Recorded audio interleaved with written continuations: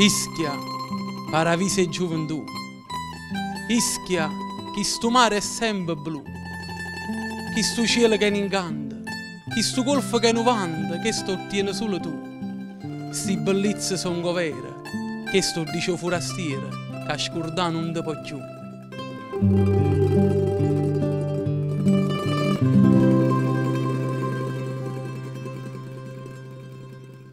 Siamo ad Ischia, l'isola che aveva lasciato senza parole Totò. In mezzo ad un golfo, un pezzulo di terra che il principe Antonio De Curtis racconta come un paradiso. Noi però le parole le useremo in questo nostro racconto e le useremo per parlare di libertà di stampa, della libertà di raccontare i fatti che accadono. E lo faremo da qui, da Ischia, dove si incontrano ogni anno d'estate personalità del mondo del giornalismo internazionale, politici, esponenti delle istituzioni, pensatori e naturalmente giornalisti, tanti giornalisti con la voglia di raccontare e la curiosità di capire.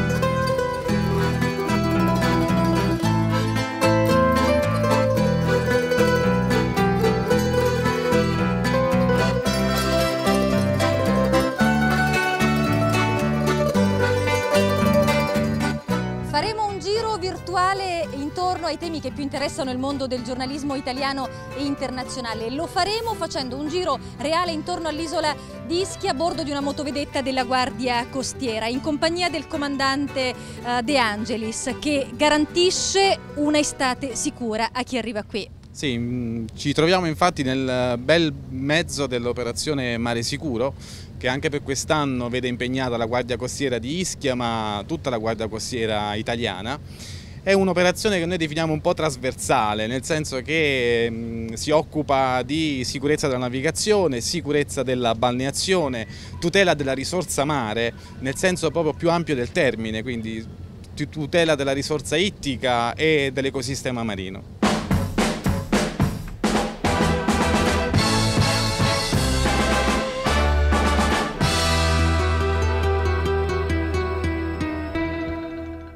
Ma lei sa che cos'è l'ISIS? Certo. Che cos'è? Persone pazze. Allora, non è che conosco l'ISIS veramente che cos'è, però so che... Per sono, fortuna. Per fortuna non lo conosco, però sono persone comunque che eh, sono gruppi di, di, fanatici. Personalmente sono gente che non, a me non piace. Non, non ci vuole avere a che fare. Non ci voglio avere proprio a che fare. Abdelaziz, 24 anni, è la faccia di una organizzazione impegnata a raccontare l'ISIS da Raqqa. Perché hai deciso di fare questo lavoro e questa scelta che immagino sia stata una scelta comunque difficilissima? Yes, all that things started with us uh, when the Syrian revolution started we decided that we should quando è iniziata la rivoluzione in Siria abbiamo pensato che dovevamo fare qualcosa, cambiare in qualche modo la situazione e tutto si è sviluppato fino a che è arrivata l'ISIS nella nostra città e allora non potevamo restare in silenzio. Quindi decidemmo che dovevamo affrontarli, come avevamo affrontato il regime di Assad e in che modo volevamo cacciare il regime da ogni città della Siria. Decidemmo che non ci saremmo fermati, avremmo continuato a combatterli. Noi siamo contrari alle armi come soluzione e non trovammo migliore soluzione che combatterli online. Sapevamo che questo era importante perché l'ISIS ha un buon sistema mediatico di propaganda, quindi pensammo in questo modo avremmo potuto sconfiggere o contrastare la loro propaganda. Abdel, eh, io penso che la tua vita sia in pericolo, quantomeno lo sia stata. Quanto tu senti questo rischio? Io vivo in Germania perché abbiamo perso degli amici in Turchia, non solo a Raqqa, quindi il regime ha un lungo braccio e ha assassinato i nostri colleghi. Per me, per gli altri amici, per le persone che lavorano con Raqqa has been slaughtered silently, il pericolo c'è sempre.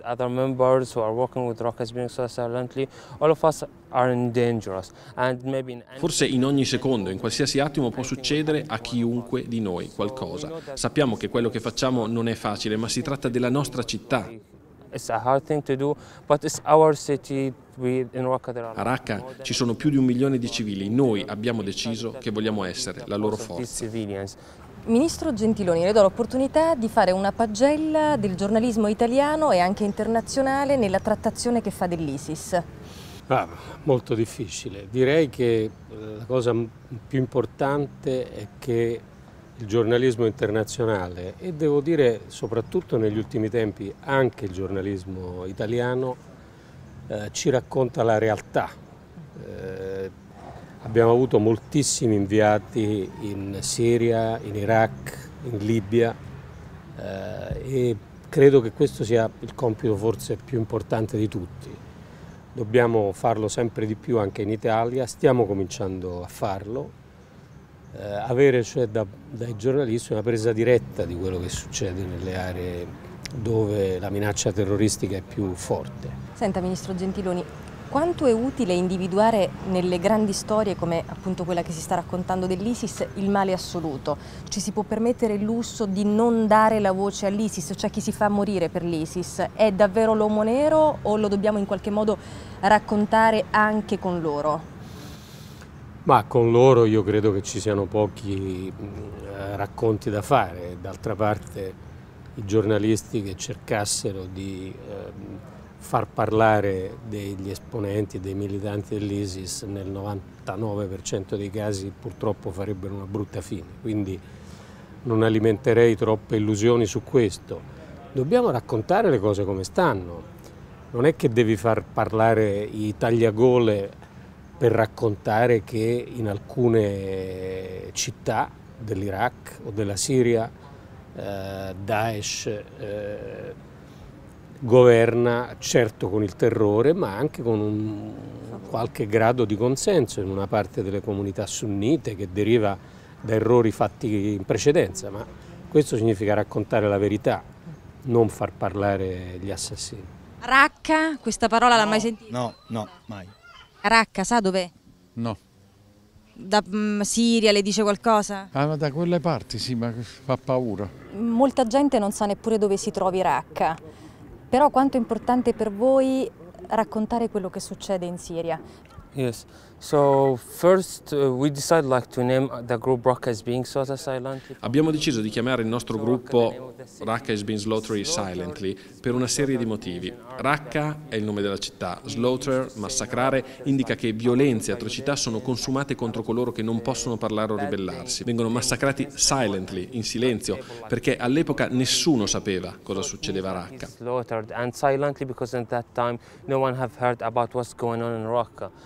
Per questo motivo abbiamo scelto questo nome, nessuno aveva sentito parlare di Raqqa. Quando abbiamo iniziato il nostro lavoro è stato difficile cercare di spiegare, ma poi è diventato più facile, abbiamo iniziato ad avere molti contatti internazionali e cerchiamo di spiegare il più possibile, di andare in giro nel mondo per raccontare le nostre storie e il fatto che lì ci sono dei civili.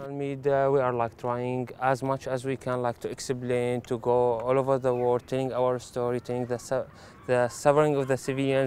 Forse un giorno riusciremo a cambiare la situazione, forse riusciremo ad aiutare chi vive lì. Ma lei la Turchia sa da che parte sta? Non ho capito. Dove è collocata, diciamo, nel mondo la Turchia? Che è Europa, Asia, dov'è? Eh, non è Europa. No. Con che confina, per esempio? Eh, la geografia non è un mio... E la Siria sa dov'è la Siria? La Siria, lei sa dov'è più o meno, se gliela faccio vedere sulla cartina, da che parte è? Da qua, da qua? La Siria, da quest'altra parte. Lato destro? Sì.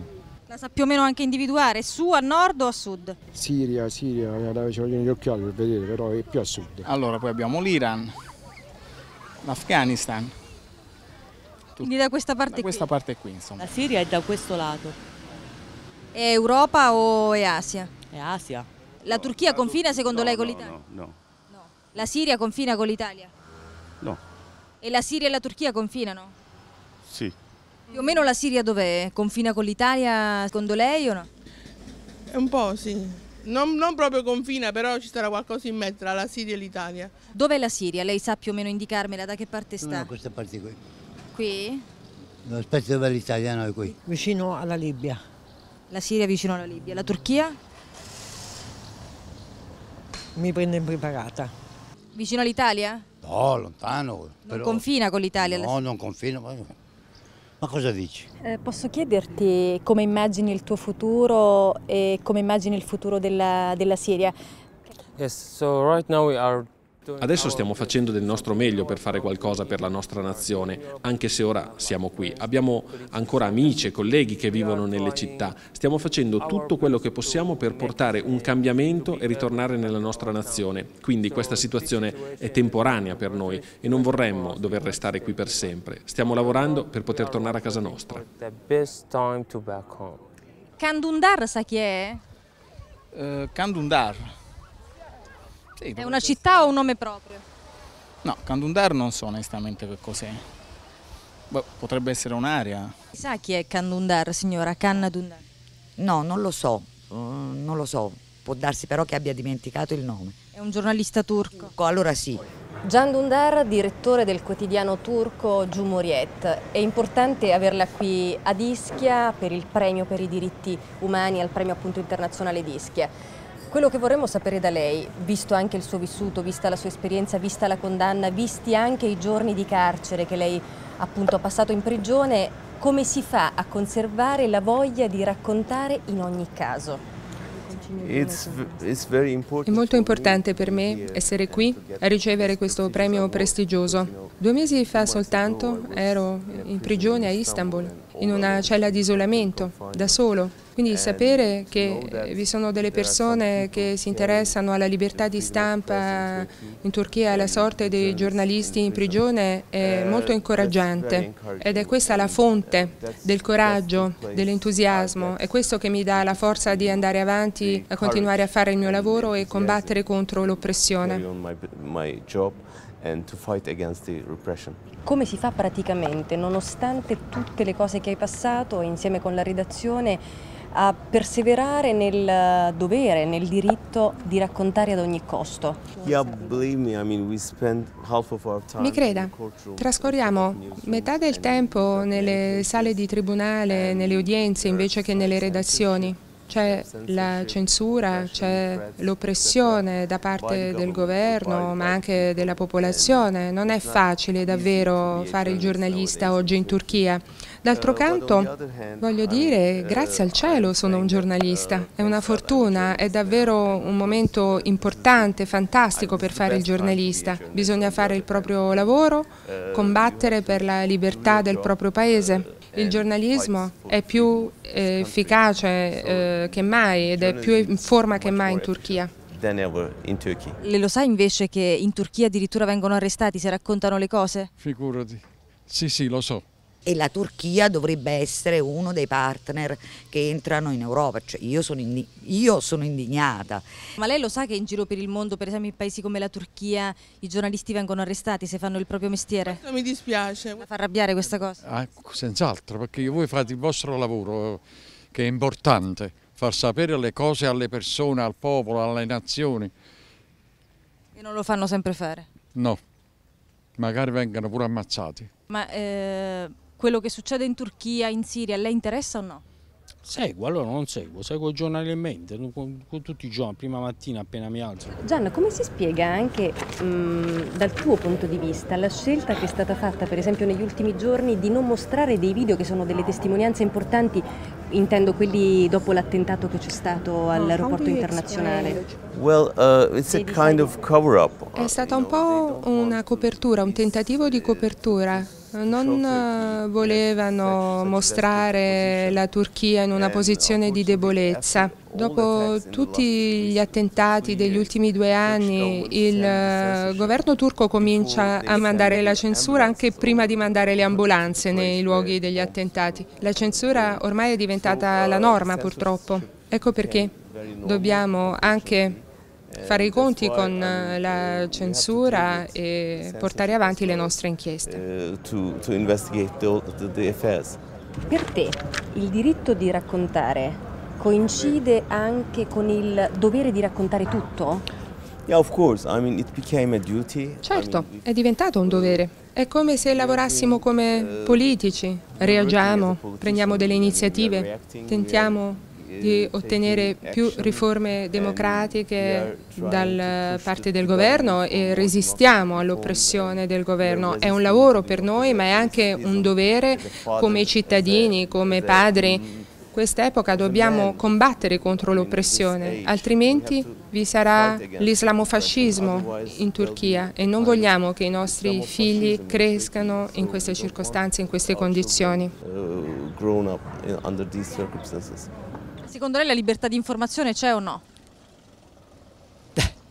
relativa direi. Cercano sempre di mantenere il carro per l'ascesa, detto in termini un pochettino... Che significa mantenere il carro per l'ascesa? Il carro per l'ascesa vuol dire che mantengono i buoi a freno, nel senso che le, le informazioni, ritornando alla domanda di prima, sono sempre diciamo dimezzate. Io non lo so se i giornalisti decidono di non pubblicare pur sapendo, non lo so, perché non, non è possibile capirlo si hanno tro anche troppa libertà a volte. Noi giornalisti troppa? Eh? Anche troppo a volte, scrivete certe cose che non stanno né in cielo né in terra. Voi dovete dare informazioni quando più potete, quello che potete perché non potete dare tutti. Come me la gestisco la vita se non sono, se non sono informata? Tu credi che ovunque in Europa ci sia libertà di espressione, di raccontare le cose così come accadono? La libertà di stampa è la cosa più importante in ogni nazione perché è la voce delle persone che non hanno voce. È molto importante perché ci sono molti dittatori in questo mondo, molti presidenti che stanno cercando di mettere a tacere queste voci.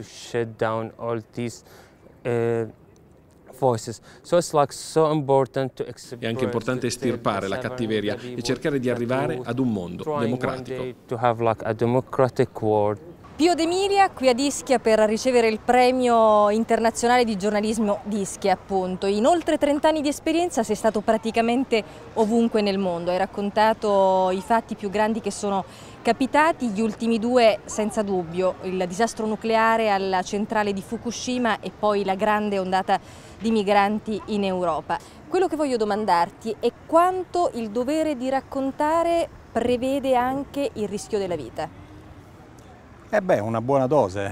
Si tratta di trovare il giusto equilibrio. Quello che dico sempre è che noi giornalisti, noi inviati, insomma, corrispondenti, abbiamo diciamo, una soglia del rischio un po' più alta rispetto agli altri. Si tratta poi di decidere qual è il tuo limite e quello non ci possono essere regole. Quello deve essere un mix di quello che senti tu, di quello che l'azienda eh, per cui lavori eh, ti consente e ti consiglia di fare. E io penso che soprattutto nel caso di Fukushima molti colleghi sono stati costretti a rientrare, secondo me esageratamente, eh, per carità c'erano ottime motivazioni, nel mio caso che conoscevo il Giappone molto bene, che ci ho vissuto tanti anni, conoscevo la lingua, sapevo come muovermi, penso sarebbe stato un, eh, una cosa molto disdicevole non poter raccontare in diretta un disastro anche pericoloso come quello. Raccontare liberamente coincide con raccontare tutto? Quasi sempre sì, tranne in alcuni casi in cui per motivi di ordine pubblico, per esempio quando ci sono dei minori di mezzo, eh, parliamoci chiaro, a livello politico sì, assolutamente sì, io non nasconderei mai un qualche cosa che potesse nuocere all'immagine di questo o quel politico. Eh, nella mia vita ho anche pagato per questa sincerità e questa inaffidabilità politica, come dire. Eh, per quanto riguarda invece altri casi, ecco appunto sono coinvolti dei minori oppure eh, ci sono particolari esigenze istruttorie, ecco anche lì eh, ci vuole sempre, eh, eh, non, si può, eh, scrivere, non si possono scrivere delle regole assolute, bisogna scrivere delle regole, però bisogna anche avere la capacità sia da parte del giornalista che della direzione di valutare caso per caso. Ad un ragazzo turco che decidesse di fare il mestiere del giornalista, quale consiglio daresti oggi e dopo quello che tu hai passato? Well, uh, 30 years ago when I was 30 anni fa, quando cominciavo la mia carriera, mi chiedevano se avessi talento per fare il giornalista. Oggi, quando mi avvicinano dei giovani che vogliono fare i giornalisti, io chiedo loro se sono abbastanza coraggiosi, perché questo è il cambiamento. Io posso solo consigliare loro di essere coraggiosi. Bisogna avere coraggio per fare i giornalisti, fare le domande giuste, scrivere gli articoli giusti, quindi essere coraggiosi per poter lottare contro l'oppressione. In bocca al lupo. Good luck. Thank you. Tobias Piller, responsabile della stampa estera in Italia. Se io ti chiedessi di dare una pagella, di fare una pagella della stampa italiana e il tema è libertà di stampa, L'Italia... che, che voti daresti? ha un voto medio, forse me, un po' medio-alto, ma non, verso non il al, 7? Sì, diciamo in questa, in questa regione, ma non, non il 10 diciamo. Tutti i paesi hanno qualcosa dove si può eccepire. Certo l'Italia ha tanti editori che hanno altri interessi, per dire così. L'Italia ha tanta influenza nei, nelle televisioni mi sembra che sia adesso ancora crescendo questa influenza politica proprio del governo, così, che sta prendendo uh, così, più potere nella Cioè RAI. controlla di più, tu dici, la stampa italiana? Il governo controlla molto di più la stampa uh, italiana in Italia anziché per esempio il governo tedesco, deve molto più subire. Deve, in Germania deve subire i commenti molto cattivi basati sui fatti, ma comunque commenti taglienti anche di un giornale de, dello stesso campo politico, ma anche i commenti e il reporting uh, critico dei, dei, dei media pubblici. Luigi Conto, direttore dell'ANSA. Oggi abbiamo la percezione che possiamo avere tutte le informazioni che ci servono accedendo al computer, su Twitter, su Facebook, in rete. Allora io mi chiedo, se si va in questa direzione, perché un direttore domani dovrebbe consentire a un giornalista di andare nel posto per raccontare quello che è successo e che sta succedendo? Ma, eh, questo è proprio un punto centrale del momento che stiamo vivendo. Eh, le, persone, la gente, i nostri figli ormai sono convinti che l'informazione si trovi gratuitamente ed è vero, eh, la diffusione della rete, i social consentono di leggere, di, di, di sapere le notizie senza pagare, eh, ma non dobbiamo dimenticarci che dietro ogni notizia c'è un costo, c'è un costo dell'inviato, c'è un costo della redazione, c'è un costo di formazione, di cultura. Eh, I social non sono eh, nemici dell'informazione, anzi sono una grande occasione di democrazia e di libertà però per decifrare una notizia, per eh, capirla, per eh, divulgarla, per certificarla c'è bisogno di professionisti che non è necessario che siano soltanto giornalisti, possono essere degli esperti, però questo è un grande tema, è un tema che la società si deve porre. Se noi pensiamo eh, che le notizie sono gratuite, alla fine le notizie non varranno più nulla e si potrà scrivere tutto. Io credo che il nostro ruolo in questo momento, noi delle agenzie dell'ANSA, come per voi di Sky, come per chi scrive sui giornali, sia proprio quello di dare valore aggiunto con la professionalità con la preparazione, con l'abnegazione e anche con la capacità di fare investimenti per portare le persone a scattare una fotografia, a girare un video o a leggere un documento, a sentire o a seguire un grande evento di persona perché non è la stessa cosa. Poi c'è il giornalismo dei cittadini, assolutamente, dobbiamo saperlo utilizzare, può essere un nostro importante alleato per zone non accessibili, per fatti che avvengono improvvisamente dove tu non sei stato, ma è un'altra cosa. Certo eh, la grande sfida adesso è anche l'indipendenza economica dei media e lì eh, la sfida è far veramente vedere la qualità e convincere della qualità i lettori. Cioè deve valer la pena spendere qualcosa, qualche qualcosa, euro per spendere leggere. qualcosa in internet per leggere, per vedere. Bisogna capire che avere giornalismo di qualità spendi e poi hai qualcosa di meglio, di qualcosa che non ha bisogno di strillare. Quanto è corretta diciamo, l'uguaglianza ehm, informazione di qualità, informazione a pagamento? Beh, c'è, eh, non c'è dubbio, l'informazione ha dei costi. Io farei un'uguaglianza anche con eh, informazione di qualità e libertà del cittadino eh, per la possibilità di crearsi una coscienza e questo deve essere naturalmente garantito da investimenti, da editori indipendenti, da editori che eh, non abbiano conflitti di interesse con i poteri forti, però questo ha un costo, lo ha in tutto il mondo, eh, chiaramente per i grandi mercati, per chi è in lingua anglosassone, per i grandi network americani e anglosassoni è un po' più semplice perché hanno un mercato più vasto per noi, noi in Italia stiamo soffrendo una situazione di crisi, eh, non dobbiamo mollare, eh, però dobbiamo essere tutti consapevoli, dobbiamo cominciare a dirlo nelle scuole, ai nostri figli eh, e, e ai cittadini in generale che bisogna pagare un costo dell'informazione, è un costo che va a beneficio di tutti, è come la sanità, l'informazione è un bene pubblico.